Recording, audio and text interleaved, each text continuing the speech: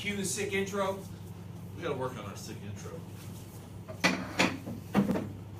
Everybody says that I'm too uptight, so I'm going reverse chair on all you folks. That's right. What's up, guys? Pew Pew Stabby here. What's going on? And today's show is brought to you by Double Star and get the Oops Kit. What's the Oops Kit? The Oops Kit. You don't know what an Oops Kit is? I probably needed one as a kid. This is an Oops Kit. For those of you that don't know, that right there is an Oops Kit. Oh, that's for when you take your stuff apart and you can't figure out where all the stuff is. That's right. So if you uh, let me get this rolling. When you get the uh, when you buy your AR or your lower or whatever, and uh, you lose some parts because it happens. That is what the Oops Kit is for. All right, here we go. Oh, that's all that little stuff that you lose when you take it apart. That's it. That's And why you can't put it back together. I needed this as a kid. My uncle's got tons of guns that I took apart and never able to put it back together. There you right. go. Yeah. So anyway, Oops Kit. Today's show. This is the item of the week. We're starting the item of the week this week. Oops Brought Kit. to you by Double Star. By- well, it's all brought to you by Double Star. Absolutely. An ace. See the shirt? All right, good. Everybody all right? John Savarese says, "What's up?" What's up, Big John? Um, so, Oops Kit. Little parts you lose, little springs. I'll tell you what's in the Oops Kit. Take down detent springs. There's four of them because you might lose more than one. By the way, we got to read this because we put so much stuff in there. That's right. I can't remember it all. Yeah. Take down detents. The bitty detents you lose. There's four of those. Buffer detents, two. Buffer detent springs, two. Firing pin, retainer pin, the little cotter pins. You know what I'm talking about. There's two of those. There is A tech call on 880. a 80. tech call on 880. An extractor spring, there's two of those. Selector springs, two of those. Selector detents, two of those. Uh, and just in case you didn't know, a little tidbit for you. Your selector spring and your ejector spring and your bolt, same spring. Right? Just So in case you need it. if you have to have it, now you know. Yank it out of that grip, stick it in that bolt. Go to town. Last thing, extractor bumper pads. So those are the little tiny bumper pads that go inside your spring. All in here, fifteen ninety nine. Get it on star15.com. .com. Part number is AR791. Type it in the search bar at the top. Or just type in oops, Oops Kit. and uh, he'll pull it right up. Get that on order. Brought to you by. Okay. The letter O for oops. Oh, we can do this like Sesame Street. We could do it like Sesame Street. Well, I don't know. Is that copyright infringement? I don't know. I don't really care. Okay, cool. So we uh, we covered some pretty serious stuff the last couple shows. Yeah. We decided to go a little more lighthearted this week. So we just kind of searched around and found some different news stories that were going on, and uh, we figured we'd talk about that, get some feedback from you guys. That and 4th of July weekend. Oh yeah, we got Fourth of July weekend coming up. Everybody getting ready to celebrate out. the Fourth. Yep. yep, yep, that's Get good. out, get your grilling on, and get your going out camping on, because that's usually a really good time. So That's what we do. yeah, I wish- Fireworks, fireworks, and firearms. Yeah. I and all like- you folks all burn up at the emergency room. yeah. Try not to come back looking like me. exactly. Just kidding. So, uh, that's a story in itself, talking about people blowing themselves up. No, yeah. you just- Well, you know, sometimes you stand a little too close, a little too long, and next thing you know, you're missing digits. I think one of the dangerous things is little kids with sparklers. I think it's probably one of those. You don't realize how Yeah. dangerous they are until Yeah. they stab you in the Until they nail you with one of them. Yeah. And that thing is still burning. Yep. Yeah. Yep. So, anyway, so that's coming up next week. Just so you know, we will not have Pew Pew and Stabby next week because we do it on Tuesdays. Yep. And we're going to not do it because of the 4th. So, Observing the fourth. take your uh, enjoy your time with your families and uh, your vacation time. Hopefully, you get the day off. If you don't, I'm sorry. Um, Yeah. John says he knows a little bit about blowing stuff up. Yep. He sure does. His uh for uh well I can't provide too much information, but uh, Dad's his his father was a demolitions expert in my town where I grew up, so his old man knew how to blow some stuff up, and John actually uh, does quite a bit of that too. Oh yeah, Yeah. I'd like to meet John sometime. Yeah, John's good people. sounds like fun. John, I'd like to meet you someday. But uh, so anyway, we got some some uh, some cookouts going on. Personally, I've got.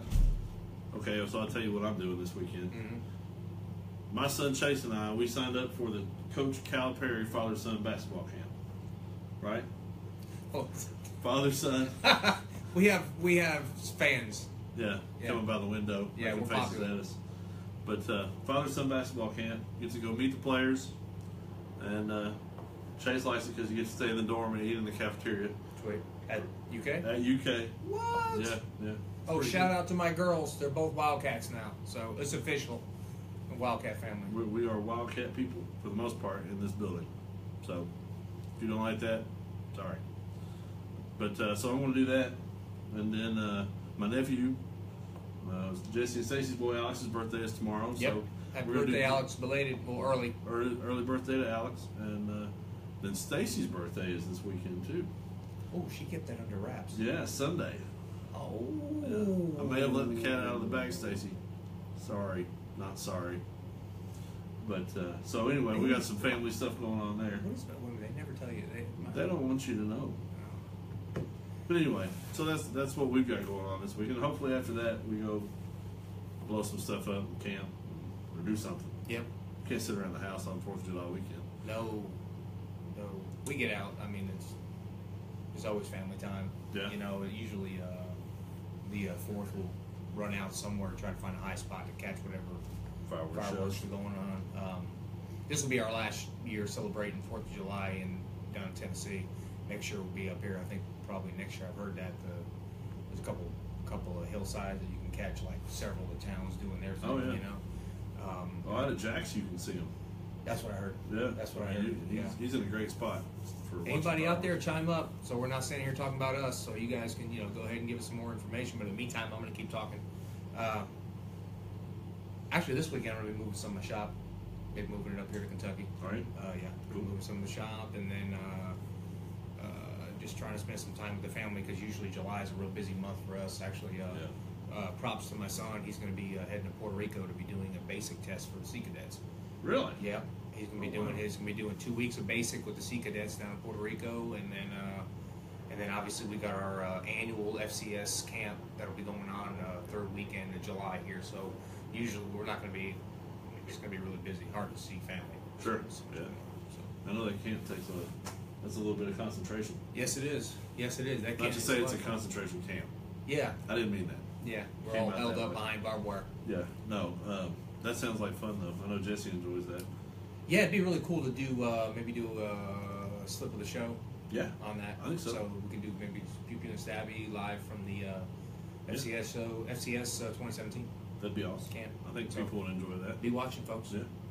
That'd be something new for me because I obviously don't know anything about it. Yeah, it'd be really cool, and it'd be cool to tune in on that show just for you folks out there who've never seen any of the alternative knife combat stuff. So maybe we'll show you guys some stuff and give you guys some tips or something like that. So Yeah. That'd be great. All right. So uh, Where do we start? I don't, I'm going to start with our Canadian sniper. Well, I guess it's Canada's Canadian sniper, Yeah. but I'll claim him because he made now the longest confirmed snipe, sniper kill in history. Um, and then I heard he apologized for it. Yeah, I heard something. I don't know if this is true, but I heard the dude apologize for it. I mean, that's a rub on Canadians, but you know, hey, kudos to you guys.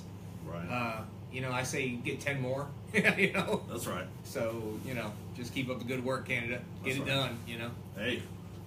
So anyway, longest confirmed kill, 3,450 meters. That is just over two miles. That's a lot of real estate, folks. Now, I don't know if any of you have shot any long range rifle or at all, but uh, you know, at a distance of 2.14 miles, you have to start factoring in a lot of different things. Um, you know, the distance between, you know, when you pull the trigger, the time. They said it, it was a 10 second delay between 10 the time he pulled the trigger to the time it made impact. Dude, that's On ISIS. coffee and donuts Yeah, by the time it gets to mark. I mean that's crazy. Yep. And figure how many times the wind changes back and forth In between here and in there. between here and there. Mm-hmm. And Curvature of the Earth, spiral. yeah, you got your Coriolis effect. Yep. That's, that comes into play. Uh, Yep. I mean, there's a lot going on there. Yeah, So, for all you flat earthers out there, it's not real. not real, man. Not real. Or else the math wouldn't be there. So, uh, hey, I love y'all, but Yeah, the world is round. the world is round. You heard it here first. Yep. Pew pew and stabby. Confirmed. Absolutely. We are professionals. Absolutely. Yep. Um, So, But anyway, so his rig was a McMillan TAC 50, and 50 BMG. 50 BMG. So if you've ever had the pleasure of getting behind a 50 BMG, No, it is uh, it is something to behold. I hope to do someday. It's on the bucket list. Yeah, it is. It's pretty crazy. I took a long range uh, course with a guy that used to work here, and uh, we shot out just over a thousand yards, and that That's a lot of real estate. Uh, yeah, it was crazy. It was. Uh, I used his rifle. He had a very nice rifle. and It was in uh, 300 Win Mag, but we were shooting out past a thousand yards at you know targets. I have to say I, I want to brag because I was pretty proud of myself. But I had the best group at a thousand yards, five inch group with three shots at a thousand yards. Wow. I That's thought you were going to give us something like you're happy to hit it. Hmm? You Well, what I mean? was. I was happy That'd be me. I'd be like, gone, cool, I hit it. And I mean, just the, the delay, you know, from Yeah. the time you pull the trigger, you stop, listen, ding. You're like, yeah. That'd Yeah. be, that's cool. But there's a lot that goes on in a shot like that. So the previous record was just over a mile and a half. Um, and it was done by a British sniper. Um, I think they said in Iraq. So kudos to the Canadians Yeah. for teaching these guys how to take awesome shots. And speaking of the and speaking of the Brits, any of you guys out there who like to read, um, be honest with you, the Brits really they've got a great they got great teams. Yeah. Oh, yeah, I've heard. great teams. Actually, so they they coined the S's shine, shimmer, shape, um, shadow, and several other uh, silhouette. Five S's when Mhm. they learn, yeah when these guys learn how to do their sniping stuff and crawling around out in the bushes. Really? Yeah, they got the five S's and all that. Those guys are pretty slick. Yeah. Wow, that's cool. So kudos to the Canadians. Yep. I know we rib them a lot, but that's pretty Yeah, awesome. Good job, guys. It's pretty awesome. All right, next story up. How many people have dogs? Everybody loves dogs, right? Well, most people do anyway. Yeah. I know we're we're all dog We're people dog here. people. We have uh, we have Gracie, and we have Izzy, two big lab. Well, one big lab and one regular size lab, and uh, you know we've most everybody here has a dog at home, so Yep. we love our dogs. So we're gonna give dogs some props. We're gonna call this dog news. Uh, Canine in Clackamas County, Oregon. And if we said it wrong, Clackamas, Sorry, sorry. but just remember I'm a hillbilly. Yep. doing the best I can. So, in Oregon, canine named Spencer hit the rare canine hat trick, capturing three suspects in 90 minutes. 30, that's 30, is that 30 seconds? No, 90 30, minutes. 30, minutes. 90 minutes. That's 90 minutes. That's a fast dog, man. That's that's crazy. So to give you a breakdown how it went down, uh, the first one was at 10:20, and uh, Spencer found a guy hiding out. That was a stolen vehicle suspect. He ditched the car, ran off in the weeds. Spencer found him, no problem. That was at 10:20 a.m. At 11:34, they let him loose on a parole violator. Found him in a trailer. Right? No problem. Spencer's on point today. Now, number three, nine minutes later, nine minutes later at 11:44, he found this chick hiding in the bushes that had multiple drug warrants. She was a drug dealer, had a bunch of stuff on her, and he found her. Man, my man earns some kibble. I mean, give the dog a day off, Yeah, right? For real. it's Miller time for him, man. Yeah. For real. So, to Spencer, hats off. If we ever meet Spencer, definitely give that. Actually, that if this a gets out to anybody who knows Spencer, if you guys can find your way to Kentucky, we'd love to have you on the show. Yeah, absolutely. Just bring him in. Absolutely. Bring him in. Actually, I've got a friend uh, whose name is Nick that trains dogs in uh, in Mercer County, and that, that might be somebody. So Nick, I'm going to be calling you, buddy. You might you might be a great one to have on the show. Absolutely. So that's uh, that's pretty awesome. So if anybody's got it, hey, again, here we are talking, waiting for you guys to chime yeah, in. they're really quiet today. Nobody said anything. I. I mean, there's Other people there. John. There's people there.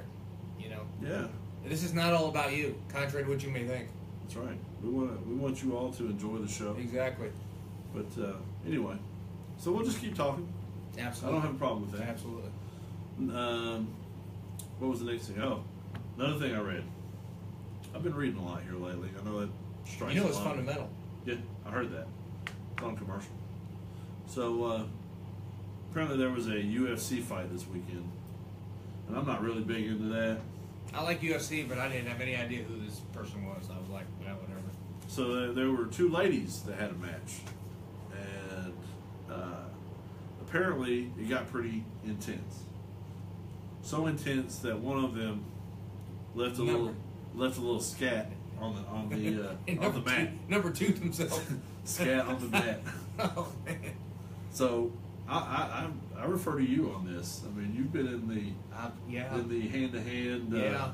jiu-jitsu Um, world much longer than I have. Well, I've heard rumors about that. I've heard that people, you know, uh, in like people have gotten their their butts handed to them pretty bad. Not not in the UFC, but like out in the street. And I've heard people, you know, where they've gotten pounded really bad, where they've uh, they skidded themselves. Yeah. Uh, but as far as in the UFC, all, all I'm saying is, is that's like bragging rights. Yeah. If you say you've literally beat the crap out of somebody, dude, I mean that's that's really taking your image to a whole other level. That's Um, that's what I'm saying. But uh, yeah, I mean it's possible because I mean, depending on the severity of the beating, you know how many times that person's head is concussed. A lot of times it can cause the They person lose- loss of yeah, yeah. If you're either either urination or defecation, one of the two. Yeah. Wow. So I mean it's hard to it's hard to imagine you losing that kind of control of yourself. Right. But if you ever had your tail handed to you severely, um, you know that there's a there's, there's a point in time where you're really kind of taking. It's not good. Not good. it's very very Not much good. not good. So, you know, as far as I was told, girls don't poop. So that is pretty That- yeah, that's that's. uh, pretty amazing. we're not eh, we're not calling out any names here. We're just saying, No. That's, you know, that was tough. I- Like, did they biohazard the ring afterwards? I don't, how you would, know? I don't know. How would you? Would you have to? I mean, you don't, they didn't stop the fight. Well, you know the crazy thing about that is, is that uh, well, any of you guys who who, who grapple, um, a lot of my senior instructors and stuff like that, we talk an awful lot about you know this whole thing about keeping the mats clean. Mm. You know because, I mean, people walking on them, you know, and all the all the different a lot of a lot of gyms are really big about keeping the mats clean. If there's any of that going on, I definitely say. Uh, but I mean, you can catch all kinds of stuff off of mats. Sure. Oh yeah, I mean you could catch staph. I mean you could catch all kinds of lovely stuff. I got several friends of mine that, that have rolled or they worked in a lot of gyms, and um, I've seen a lot of that, and it's not good, not good at all. So, anyways, they probably had to do something. I don't know. Did they keep fighting? I mean, did she do Yeah. the thing and they just yeah. kept- They, they. Well, man. from what I could tell, the short video I watched, she kind of rolled her over, and then she tapped. So I don't know. I think she tapped. Maybe they just stopped the fight. But either way, not good. Yeah, yeah. I mean, you get to the point where you've gotten beaten to the point of where you no longer have control of your bodily functions. You're Yeah, that's You're bad bad news. way. So John says, Rob, have you heard about the fugitives from Tennessee that are at large back home? Actually, no, that's new. Uh, I'd like to know which town that's at because you know. Um, no, we should probably find out about that. Actually, um, You if, should that, if probably- that's in Memphis, I don't really care. To be honest with you, but uh, uh, yeah, definitely uh, probably need to check that out. What do you? What do you? Where's that at, John? John, where's that at? You gotta let us know. Yeah, actually, if you, if you got more info, just go ahead and spiel that out there. Um, all I got to say about that is a good thing I'm getting out of Tennessee. What can I say? Well, that's yeah. Actually, my parents, where I grew up, there's a, a prison a couple miles down the road, and they had a last year or the year before there was a riot In the prison. in the prison, and, and there was a couple of them that got loose. So, so my dad, you know, at the time he was still accumulating weapons for the house, and I can just I was I just told him I said just get ready, you know, if you hear up, if you hear something. But now he's got a big German Shepherd, so think Well, with it being extra prison, probably needs about four, five, six of them. Yeah. He needs a whole. He needs a whole. Uh, what is it that they call that with a bunch of wolves? a pack, Uh, he needs a pack. He needs a pack of a German pack of wolves, and a pack of Newports. No, Yeah, just a pack of wolves. just pack, pack of wolves. Yeah, but uh, that's pretty crazy. He said he'll post the link up here in a minute. Jeez. Good deal. Thanks, John. Yeah, appreciate that, man. So, uh, what else? Um, With you guys not talking, we just got to keep talking. So, again, they are wanted for murder, I think, in Tennessee, but they are large in Ulster County. oh, New York or Tennessee? I didn't know there was an Ulster County, Tennessee. maybe I don't know. Ulster, Ulster County, I mean, if it's Ulster County, New York, is that where you're from? that's where we're both. That's where we're both from. Oh, well, he said it was at your, at your where you used to live. Yeah. Uh, no, I didn't hear So they're anything. from Tennessee Yeah. Yeah. in New York. Yeah, we're we're uh, we're originally the two of In us. New were, York. We're two, the two of us were originally raised in Ulster County, New York, which is actually rural New York. Um, now, and, I, and I'll be honest with you, there's a bunch of gun-toting folks up there. Beyond the, they better not. They better just make sure that they keep their eyes down and their T's crossed. Because you go to Ulster County, specifically Clintondale, New York, you will get shot. I can promise you that. You will get shot. Don't mess with Ulster County. No, no, you will get shot. All my family packs up there. Yeah, they, well, all they pack. should. They all pack. They should absolutely. Uh, all right. So uh, another thing I saw this week: Burger King has released a line of milkshakes with cereal in them. Lucky Charms and Froot Loops is what I saw so far. I don't know, man. That just But you, it's it's pretty much what's going on in the world anymore. There's nothing original. nothing original. Yeah.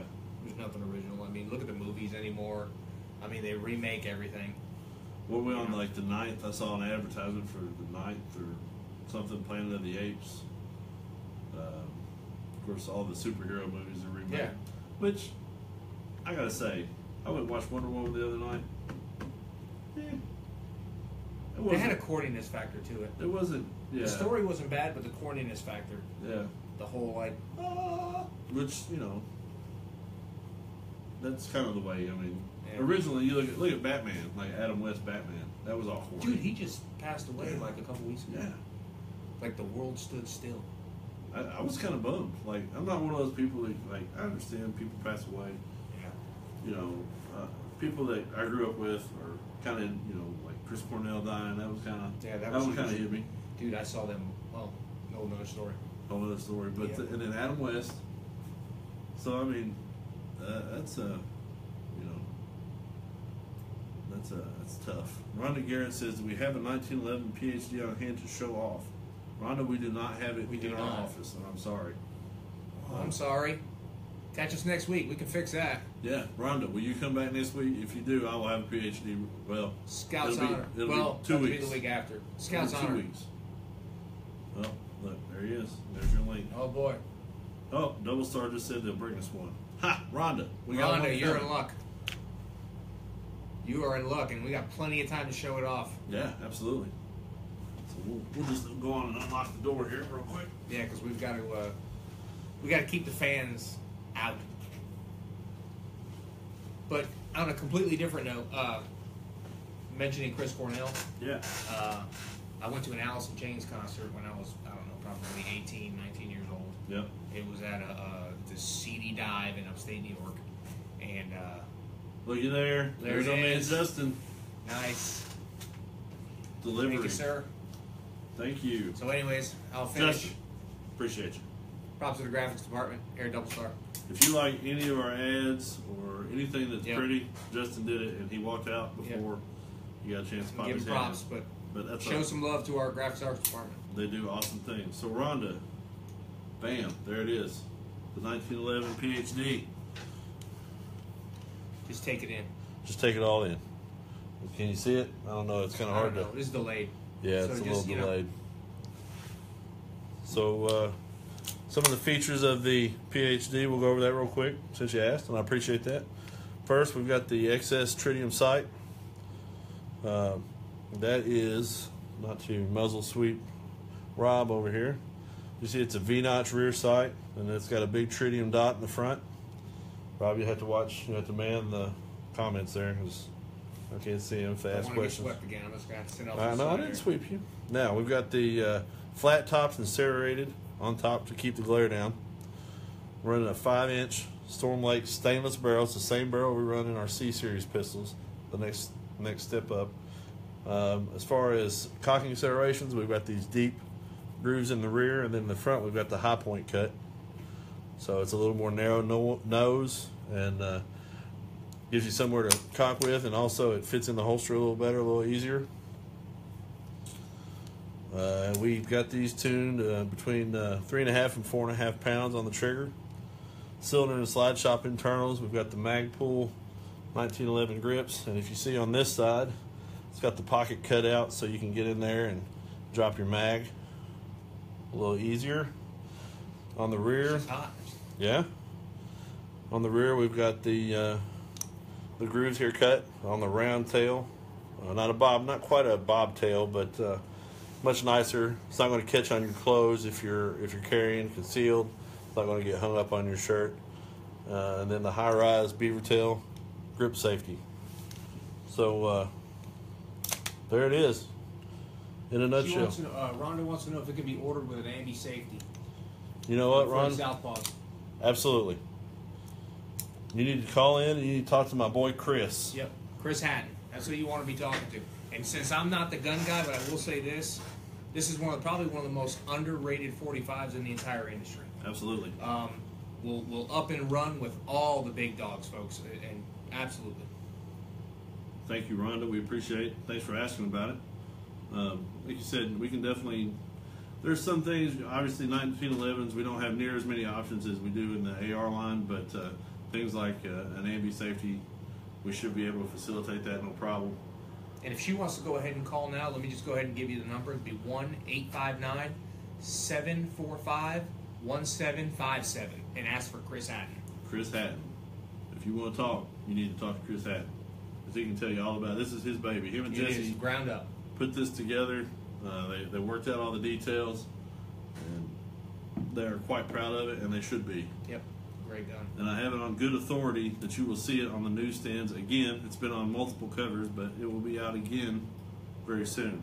And we're actually trying to, we're talking to our, our friends over at Mix Flip too, possibly. Oh yeah, Mix Flip is a is a guy out of Vegas that does some YouTube stuff. Uh, I just sent him a few things, so And he's we'll uh, wanting to get his hands on one, so. So we're working that out. We're trying to get out there where the uh, where the video guys are. Yep. Uh, you know, print media is is slowing down just a hair. So we're trying to get out where you guys can watch, watch on your phones while you're waiting to get your hair cut or whatever the case may be. Um, you know, get out there and see and give us feedback.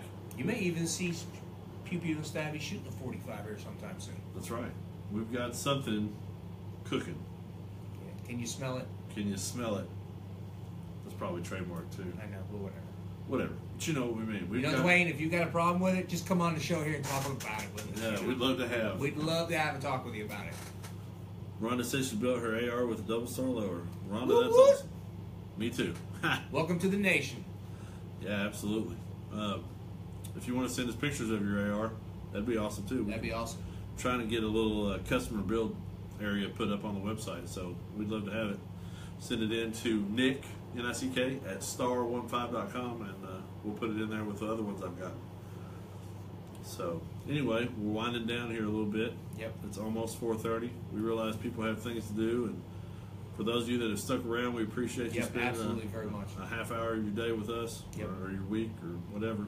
Please don't forget to keep posting too. Yeah, You know, absolutely. Keep, keep posting stuff up there so we can Share this, like it, send Yep. it out, tell your friends about it. Yep. Hopefully you enjoyed a, a little less gun, a little a little less pew pew, a little less stabby, a little more uh, current events, and we'll uh, we'll little bit of continue to we'll continue to work that mix in as people give us feedback. If you like it, good. If you like to see more stuff about guns, good. We can do that too.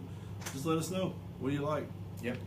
and uh, we'll work it in. So everybody have a great Fourth of July. Absolutely. Spend a lot of time with your families. Enjoy uh, your family time, your cookouts. I hope you uh, hope you cook something good. I like to eat, so Yeah. I'm looking forward to that part of, of this weekend. So Absolutely. thank Be you all. careful. See y'all out there. we'll see you. Take care. See you in a God couple bless. weeks. Peace.